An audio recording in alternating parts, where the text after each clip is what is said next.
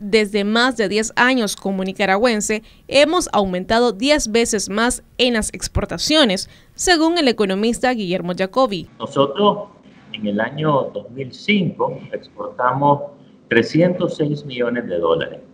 Sin embargo, ya para el año 2020 estamos hablando que las exportaciones fueron 3.120 millones de dólares. Es decir, que aumentamos en 10 veces. Hemos crecido 10 veces. Eso es un crecimiento importante, ya que en tan solo unos 15 años hemos pasado de 300 millones a 3 mil millones a los Estados Unidos. ¿Qué es lo que sucede con los Estados Unidos? Que eso nos hace que más importante que nosotros tenemos.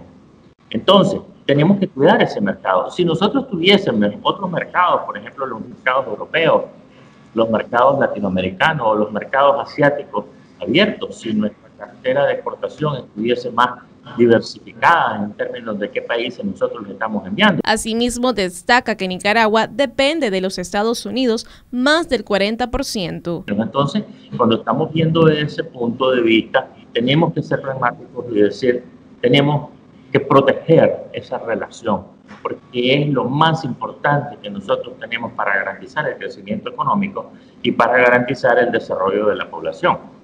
Ahora, el hecho de que los Estados Unidos puedan detener o hacer que el CAFTA eh, no sea aplicado para Nicaragua no significa que vamos a seguir, que no vamos a seguir exportando.